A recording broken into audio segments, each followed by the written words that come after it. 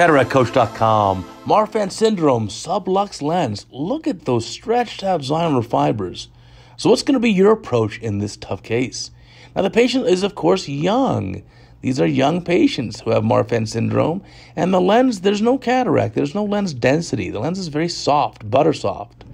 Looks like some um, agent's been put inside the eye to expand that pupil, some viscoelastic in being injected to make a barrier, and wow, look at those zonular fibers. Wow, so stretched out. Now, starting here, making a rhexis, and keep in mind where is the lens? And so, how are you going to center up that lens capsular rhexis, right? So, think about it. Look, that's the equator already. So, we got to get this thing centered appropriately. And yeah, therefore, subincisionally, it's going right up even underneath the iris. That's fantastic. This is a very tough case. And the question I have for you is how are you going to fixate the lens? Removing the, the crystal lens is easy, it's butter soft, you can just aspirate it out. How are you going to give support? Now, it's a progressive disease. We can see the lens has moved to one side, on the right side of your screen there, subluxed in that direction. Is it sufficient just to put support on this left side of your screen then? Or should you do it for both sides of the screen? And so now putting in a, looks like an uh, iris hook, but using that to support the capsule. There are capsule hooks that are available also, but this certainly works. And be gentle here. You don't want to damage that capsule. And so here's some visco dissection. I like that technique. Just to separate it, looks like an extra hook going inside there to even more, more capsular support.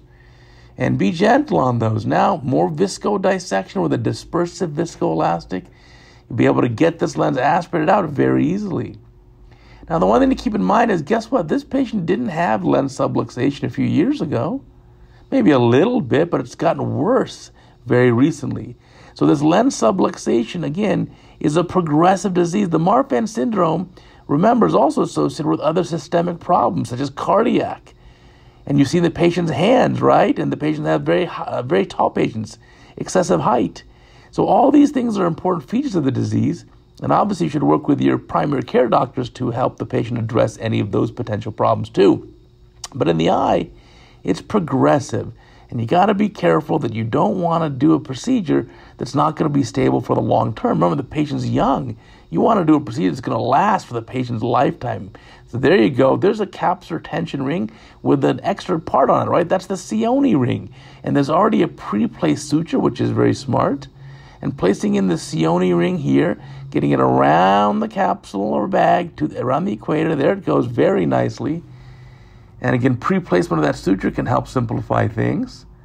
And that looks like a Prolene suture or polypropylene. And that Cionni ring is going to be placed very carefully, very gently in the capsule bag completely. And again, a very delicate procedure here, getting this in there. Sometimes the second hand can help also guide it. There it is. There's the second hand to guide it.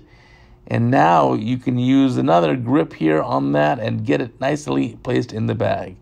So there's the hook of the Cionni ring, and that's again already been threaded with a small gauge Prolene.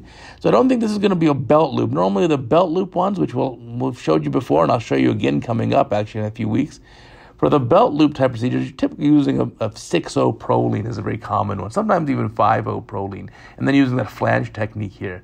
But here instead, a smaller gauge Prolene, and it looks like making a little bit of a, a here and a groove. So, okay, he's going to make a groove and bury this suture in that groove. So now we're going to see we got here pushing through. Oh, there we go. Well, very carefully threading the needle into the hollow bore of the other needle and passing that suture out and doing the same on the other side. And now both ends of that suture are going to be within that scleral little uh, um, incision that was made there, probably about half scleral depth. And now we can get this suture buried. And that's a good idea. You don't want it exposed there. And so that's being tied up here. Maybe I'd guess it's uh, maybe 8 would you say? 8 Prolene? I think it's bigger than 10 And that's tied up very nicely. That's going to provide some good support. Here comes the IOL being injected in the capsular bag. Let's see, nice and easy. There it is, the three piece lens. I like the three piece lens because you've got more options for placement in the future. If you need to, you know, go back and suture it or do other maneuvers, a three piece lens gives you a little bit more flexibility. So I like that. So now it looks like that suture was tied, the prolene that's and it's been buried, the knot's buried, and that suture you can see sits nicely in that groove. And now, oh yeah, a young person, you're probably going to want to check that incision and put a suture in if needed. This is a really neat case. But my question is, is this one suture enough? Will the patient develop sinus laxity on the opposite side? On your screen, the right side of the screen, will there be future sinus laxity there that will require another intervention? What do you think? Leave me your comments below and tell me how you would have done this case. Beautiful job.